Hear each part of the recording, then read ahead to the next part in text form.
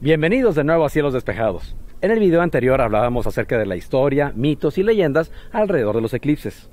Ahora que un eclipse solar se aproxima, es importante conocer la mecánica de estos eventos celestes, así como los tipos de eclipses que hay y qué ocasiona cada uno. Comencemos.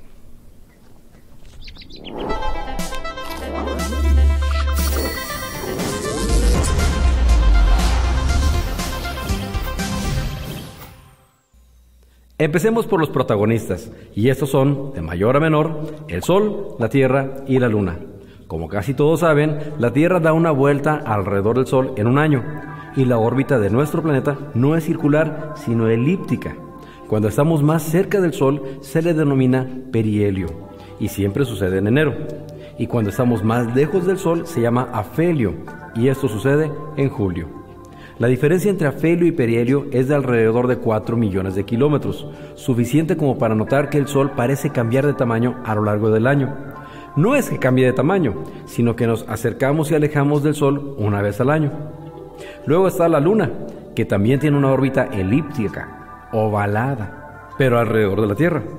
Cuando la Luna está más cerca se llama perigeo y cuando está más lejos está en apogeo. La diferencia entre apogeo y perigeo es de casi 50.000 kilómetros, y es muy evidente que en el transcurso del mes parece cambiar de tamaño, pero es simplemente que a veces la tenemos más cerca o más lejos. En su movimiento alrededor de nuestro planeta, en casi un mes, la Luna se alinea un par de veces con el Sol y la Tierra. Cuando pasa la Luna entre el Sol y la Tierra, es luna nueva, y cuando la Tierra queda en medio, es luna llena. ¿Y qué es un eclipse? Un eclipse ocurre cuando un cuerpo celeste bloquea una fuente de luz y en consecuencia se observa una disminución en la luminosidad. Los eclipses pueden acontecer por dos razones. En primer lugar, un eclipse puede deberse a que un cuerpo oscuro se coloca entre nosotros y un objeto luminoso, de modo que ya no podamos verlo. Esto sucede en un eclipse de sol. Si la luna cubre al sol, es un eclipse de sol. Por otro lado, en segunda instancia, hay también eclipses que acontecen cuando la sombra de un cuerpo opaco se proyecta sobre un cuerpo iluminado. Esto sucede en un eclipse de luna. Si una sombra cubre la luna, es un eclipse de luna. Básicamente se conocen los eclipses de sol y los de luna. Sin embargo, otros cuerpos también se pueden eclipsar, por ejemplo las estrellas, pero como decimos, eso es harina de otro costal. Si la Luna orbitara siempre en el mismo plano sobre el que se desplaza la Tierra, tendríamos eclipses muy seguido, un eclipse de Sol y uno de Luna cada mes. Pero no es así. ¿Por qué? Pues porque la órbita de la Luna está inclinada. No comparte el mismo plano orbital que la Tierra. Así, la mitad del tiempo la Luna está al norte, arriba del plano orbital terrestre, y la otra mitad está al sur, abajo de este. Cuando la Luna se encuentra en el mismo nivel que la Tierra, no al norte ni al sur, sino en medio, decimos que está en un nodo. Y por cada vuelta, la Luna pasa por dos nodos. Un nodo de subida, que se llama nodo ascendente, y un nodo de bajada, que se llama nodo descendente. Y aquí está el secreto de los eclipses. Siempre que la luna llena está en un nodo, acontecerá un eclipse de luna. No falla. Y siempre que la luna nueva está en un nodo, acontecerá un eclipse de sol. Para que la luna llena y la luna nueva vuelvan a quedar alineadas con los nodos, o sea, en el mismo plano que el Sol y la Tierra, deben transcurrir aproximadamente seis meses, y ese plazo se cumplirá pronto. Los eclipses son juegos de sombras y conviene saber que las sombras no son todas iguales.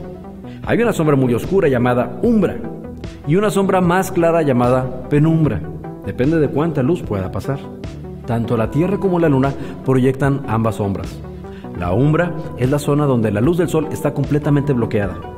Y la penumbra es la sombra en la que una parte de la luz del Sol sí llega.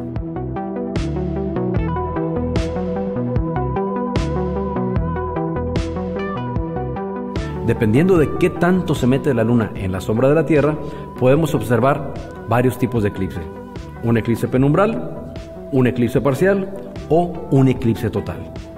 Los eclipses penumbrales de luna ocurren cuando la luna pasa solo a través de la sombra penumbral de la Tierra. Y aunque se conocen perfectamente, estos eclipses pasan frecuentemente desapercibidos, pues pareciera que la luna llena pierde solamente un poco de su lustre, no se ve mordida. Los eclipses parciales de luna acontecen cuando solo una parte de la luna invade la sombra umbral de la Tierra. En los eclipses parciales, la parte de la luna que se ve más iluminada está en penumbra. Los eclipses totales de luna acontecen cuando la luna se introduce completamente en la umbra de la Tierra. Y para que llegue a la totalidad, primero tenemos que ver que la luna ingresa a la penumbra, luego a la parcialidad y finalmente a la totalidad.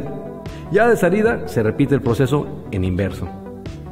Puesto que la sombra de la Tierra es mucho más grande que la Luna, los eclipses de Luna son de larga duración. Pueden durar hasta 3 horas con 40 minutos y tan solo la fase total puede durar hasta 1 hora con 40 minutos.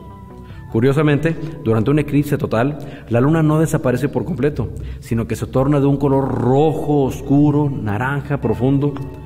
Y si la luna no tiene luz propia, ¿De dónde salen esos colores rojos y naranjas? En un eclipse total, la luna es iluminada por la luz que se refracta y se filtra a través de la atmósfera terrestre.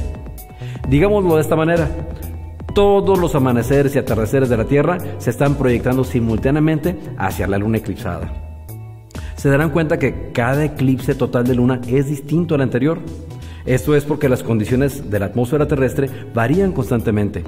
Así como cada atardecer o amanecer es distinto, cada eclipse también va a ser diferente. Siempre y cuando sea de noche, los eclipses de luna se pueden observar simultáneamente desde cualquier parte de la Tierra. Y por eso un eclipse de luna puede ser visto por varios continentes a la vez, aunque no por todos simultáneamente. En un eclipse de luna, todos los observadores ven prácticamente el mismo fenómeno, con la misma duración y con los mismos colores. Así entonces, cuando un eclipse de luna es total, será un eclipse total para todos los que lo están observando. Por otro lado, el aspecto de un eclipse de Sol es muy variable.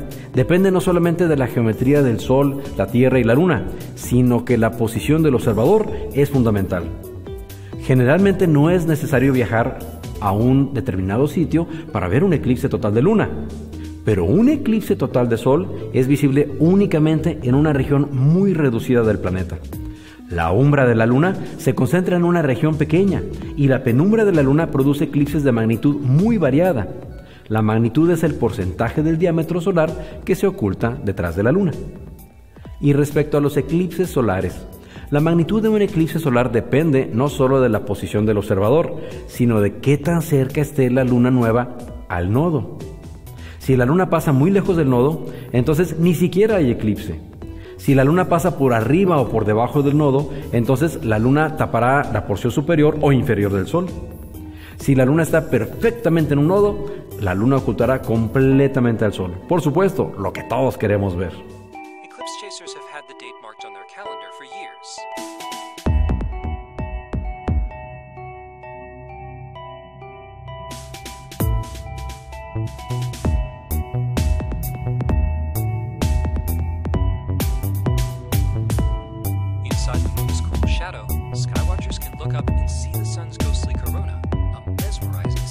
Claro, a menos que la luna esté en apogeo, lejos de la Tierra. Y es que en apogeo la luna se ve más pequeña y a veces no alcanza a abarcar el sol completo, ni aunque le pase por en medio. La umbra proyectada por la luna es la zona donde toda la luz del sol ha sido bloqueada, completamente, mientras que en la penumbra solo una parte de la luz del sol es bloqueada. Dependiendo de qué tan inmersos estamos en la sombra de la luna, un eclipse de sol puede ser 1. Eclipse parcial. 2. Eclipse anular.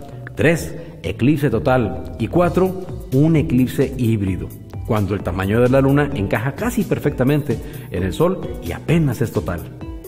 En un eclipse parcial de Sol, una parte del Sol se ve mordida. Los eclipses parciales de Sol acontecen cuando los observadores están en la penumbra de la Luna. Solo una parte del Sol es visible. En un eclipse anular de Sol, el Sol se ve mordido, pero al llegar a la centralidad, el borde del Sol sigue visible. En los eclipses anulares, la Luna se atraviesa justo enfrente del Sol, pero no logra cubrirlo completamente. Los eclipses anulares de Sol con el borde más grueso acontecen con la Luna en el apogeo. En un eclipse total, el Sol se ve al principio mordido, luego completamente bloqueado, y el Sol queda completamente oculto detrás de la Luna. Estos son muy bellos, pues se puede observar la cromósfera de color rojo encendido, la corona y las prominencias solares.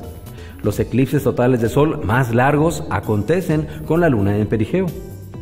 Cuando la luna está justo a la distancia en que se ve del mismo tamaño del sol, el delgado aro de luz solar se fragmenta en un collar de perlas completo. Esto es un eclipse híbrido. Y como la Tierra es curva, el tamaño de la sombra lunar cambia de tamaño dependiendo de la distancia. Observar un eclipse de sol total ofrece siempre un espectáculo diferente. Cada eclipse total de sol es distinto al anterior, pues la actividad en la superficie del sol varía día con día.